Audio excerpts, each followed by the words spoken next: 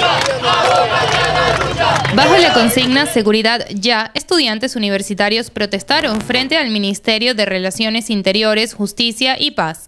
La situación que se vive en las máximas casas de estudios son el reflejo de la grave crisis que enfrenta el país.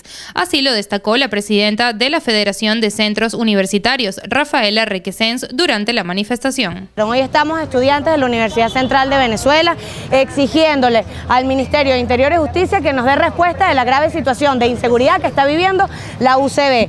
Y aquí tenemos el documento donde exigimos que los puntos de control y seguridad en las entradas de la Universidad de Venezuela sean instalados y no solo un policía, sino toda la cantidad necesaria para que trabajen también de la mano con seguridad central de la Universidad Central de Venezuela y evitemos que sigan ocurriendo estos hechos delictivos. Al gobierno le interesa que nosotros estemos dominados por el AMPA, al gobierno le interesa que nosotros estemos reprimidos en nuestras casas sin poder salir porque es un mecanismo de control. Cada segundo que un venezolano no puede salir de su casa por la inseguridad, es, un segundo más que el gobierno tiene oportunidad de hacer lo que le dé la gana, ¿vale? Y nosotros no nos las podemos seguir calando. Arriba nos recibieron las exigencias, nos dijeron que en el plazo de una semana estaremos instalando mesas de diálogo entre la federación y el ministerio.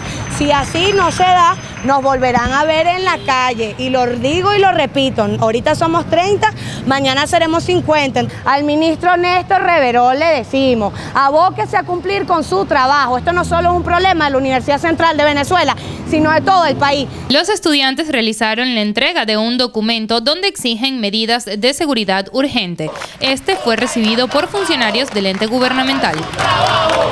¡No